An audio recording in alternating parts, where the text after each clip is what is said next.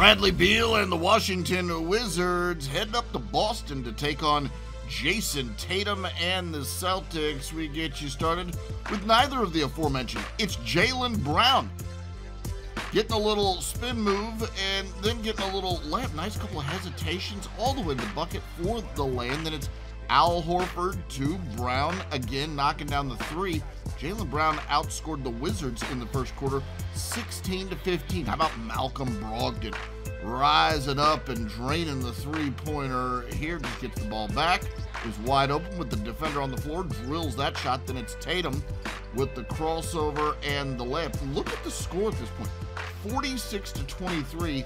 Boston doubling up the Wizards. Marcus Smart the steal, then the pass to Tatum for the three. Tatum 23 points, 5 of 10 from range in this one. Celtics in transition. It's Brown to Tatum, who throws the no look to Brown for the layup. Watch it one more time. These two combining wonderfully. Brown 24 points on the game. At the half, though, it got a little bit closer. Boston up by 11. Malcolm Brogdon draining a three pointer in the second half, and Boston starting to push that lead out again. Brogdon now blowing by the defense for the lip.